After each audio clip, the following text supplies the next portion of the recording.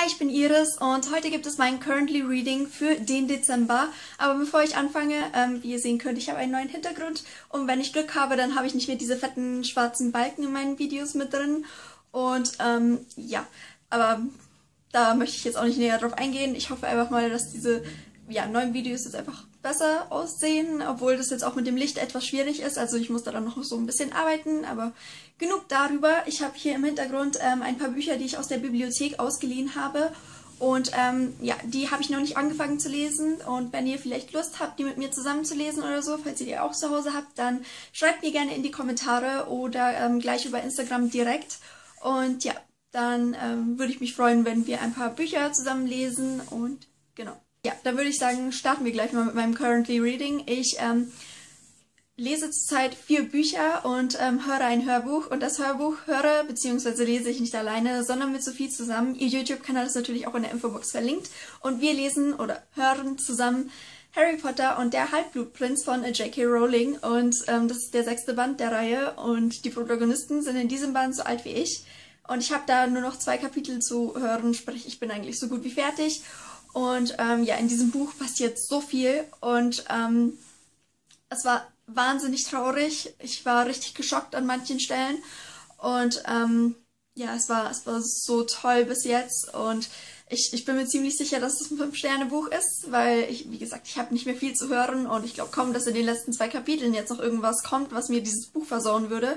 Denn in dem sechsten Band gibt es endlich Liebesbeziehungen. Ihr wisst ja, ich stehe auf Liebesgeschichten und so und ach, der sechste Band, ich glaube, das wird mein Lieblingsband und ich, ich feiere diese, diese Relationships in diesem Buch so hart. Ich bin so glücklich und ach, es war so süß. Ich hatte so ein Kribbeln im Bauch beim Lesen, weil es einfach so süß war und okay, ähm, ja, also der sechste Band wird wahrscheinlich mein Lieblingsband und ich feiere den brutal und ähm, kann ich euch nur empfehlen.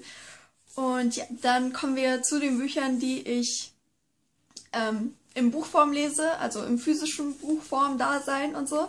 Und das erste ist eine Weihnachtsgeschichte von Charles Dickens. Und dieses Buch wurde ja auch in etlichen Weisen verfilmt, also von Walt Disney oder von Barbie oder was weiß ich noch von wem.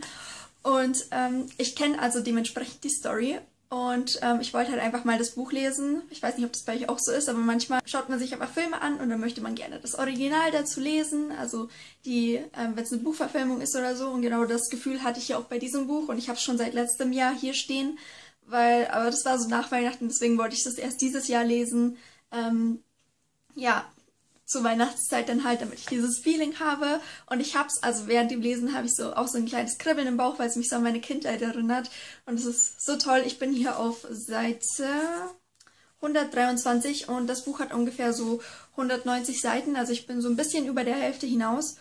Und ähm, ja, mir gefällt es echt gut in diesem Buch. Für die Leute, die nicht wissen, worum es darin geht, geht es um ähm, Mr. Scrooge und er ja, ist ein Geizhals und ähm, ziemlich unausstehlich und irgendwie mag den einfach keiner, weil er einfach, ja, kein netter Mensch ist.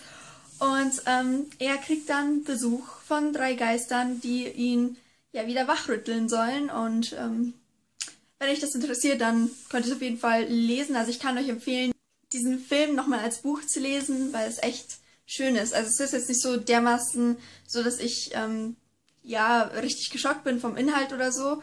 Aber es ist echt schön zu lesen und diese berührenden Stellen, also diese traurigen Momente, die ja, ergreifen mich in dem Buch auch brutal. Also ich musste schon weinen und oh, ich feiere dieses Buch echt. Das nächste Buch lese ich auch wieder nicht alleine sondern mit zwei weiteren zusammen, nämlich mit Tatjana und Nina von It All Started with Harry. Und deren Instagram- und YouTube-Kanäle sind natürlich auch in der Infobox verlinkt. Und wir lesen zusammen Winter in Briar Creek von Olivia Miles und ich bin hier gerade auf Seite 330.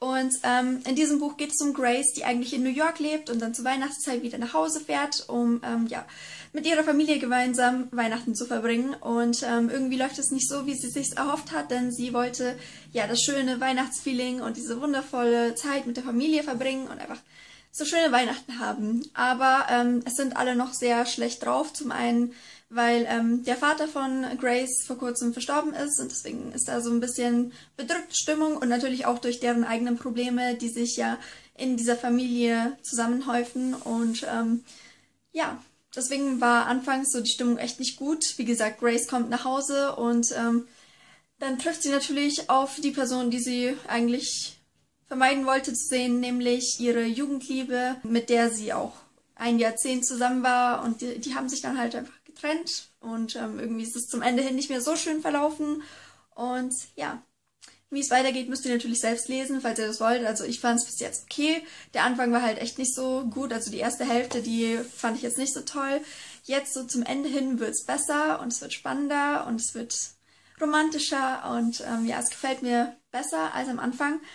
Aber ähm, dieses Buch hat halt einfach so einen Schreibstil, bei dem man mit den Gedanken abschweift und das gefällt mir einfach nicht. Also ich, wenn ich ein Buch lese, dann möchte ich, dass mich dieses Buch fesselt und mich ähm, von allem Möglichen ablenkt und nicht, dass es zulässt, dass mich meine Gedanken von dem Buch ablenken. Deswegen ist dieses Buch jetzt noch nicht so mein Favorit. Das nächste Buch, das ich lese, lese ich auch wieder nicht alleine, sondern mit Jenny von Regenbogengarten, mit Franzi von Die Bücherseelen und mit Nina von Ninas Lesezeiten. Denn ich habe bei ähm, Jenny ihr Lesenlistenvideo angesehen und dann habe ich gefragt, ob ich bei dem Buch nicht bei der Lesegruppe mitmachen kann. Und ähm, das war kein Problem, deswegen bin ich da jetzt auch in der Lesegruppe mit drin. Und ähm, ja, wir haben vorgestern oder so angefangen und ähm, die Rede ist von Iskari, der Sturm naht, von Kristen Cesarelli und ähm, ich bin da gerade auf Seite 210 und ja, mir gefällt's echt wahnsinnig gut bis jetzt. Also in diesem Buch geht es um Iskari, die ähm, ja eine Todbringerin ist, die Drachen jagt und sie tötet und ähm, sie soll zwangsverheiratet werden mit Jarek und Jarek ist einfach so ein ja, Arschloch.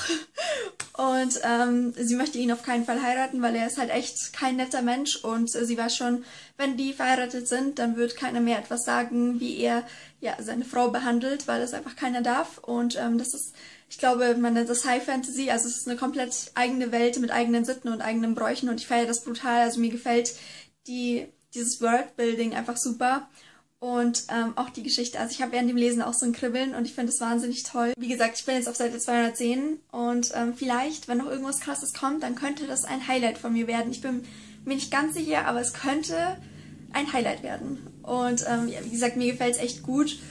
Und ich kann es euch jetzt schon empfehlen, weil es halt echt ein tolles Jugendbuch ist. Das nächste Buch, ja, da habe ich mir vorgenommen, dass ich jeden Morgen zum Frühstücken einfach ein bisschen lesen möchte. Und zwar ist es Winter der Welt von Ken Follett. Denn dieses Buch ist einfach so dick, dass ich ähm, mich da nicht stressen möchte, das irgendwie schnell zu lesen oder so. Deswegen lese ich da einfach wirklich nur morgens beim Frühstücken. Ich bin hier gerade auf Seite 36 und ähm, als ich angefangen habe zu lesen, war ich erstmal super glücklich, weil ähm, dieses Buch hat die alten Charaktere wieder mit drin und da habe ich mich so gefreut, das fand ich so toll. Und ähm, ja, also wie gesagt, ich bin noch nicht weit, aber bis jetzt gefällt es mir echt gut und es lässt sich auch richtig flüssig lesen. Also ähm, ich habe ja davor das Hörbuch gehört und hatte ein bisschen Schiss, dass mir dieses Buch, ja, wenn ich selbst lese, nicht so gut gefallen könnte. Aber bis jetzt gefällt es mir echt gut und ähm. Ich find's toll. Und das war auch schon mein Currently Reading. Wenn euch das Video gefallen hat, dann lasst mir gerne einen Daumen nach oben da und schreibt mir auch gerne in die Kommentare, was ihr so zur Zeit lest und wie es euch bis jetzt gefällt.